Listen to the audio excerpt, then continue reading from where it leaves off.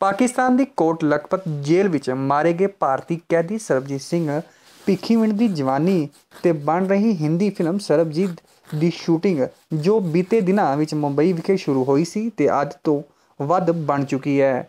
ਇਸ ਫਿਲਮ ਦੀ ਅਗਲੀ ਸ਼ੂਟਿੰਗ ਸਰਹੱਦੀ ਪਿੰਡ ਨਾਰਲੀ ਵਿਖੇ ਬੀਤੇ 3 ਦਿਨਾਂ ਤੋਂ ਜਾਰੀ ਹੈ। ਅੱਜ ਤੀਜੇ ਦਿਨ ਪਿੰਡ ਨਾਰਲੀ ਦੇ ਗੁਰਦੁਆਰਾ ਬਾਬਾ ਬੁੱਧਨਾਥ ਦੇ ਸਾਹਮਣੇ ਸਰਬਜੀਤ ਦੇ ਦੋਸਤ ਦੀ ਭੂਮਿਕਾ ਨਿਭਾ ਰਹੇ ਤ੍ਰਿਸ਼ਨ ਵੱਲੋਂ ਅਭਿਨੇਤਰੀ ਐਸ਼ਵਰਿਆ ਰਾਏ ਬਚਨ, ਜੋ ਸਰਬਜੀਤ ਦੀ ਭੈਣ ਦਲਬੀਰ ਕੌਰ ਦਾ ਰੋਲ ਨਿਭਾ ਰਹੀ ਹੈ, ਨੂੰ ਆਪਣੇ ਸਕੂਟਰ ਮਗਰ ਬਿਠਾ ਕੇ ਗੁੰਮ ਹੋਏ ਸਰਬਜੀਤ ਦੀ ਭਾਲ ਕਰਦੇ ਹੋਏ ਵਿਖਾਇਆ ਗਿਆ।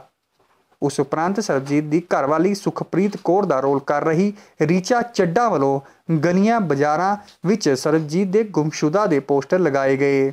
ਫਿਲਮ ਦੀ ਟੀਮ ਵੱਲੋਂ ਕੁਝ ਸਮਾਂ ਆਰਾਮ ਕਰਨ ਉਪਰੰਤ ਅਗਲਾ ਸ਼ੂਟ ਸਰਬਜੀਤ ਦੀ ਪਤਨੀ ਵੱਲੋਂ ਆਪਣੀਆਂ ਮਾਸੂਮ ਬੇਟੀਆਂ ਸਵਪਨ ਪੂਨਮ ਨੂੰ ਗੋਦੀ ਵਿੱਚ ਲੈ ਕੇ ਸੋਚਾਂ ਵਿੱਚ ਡੁੱਬੀ ਦਿਖਾਇਆ ਗਿਆ।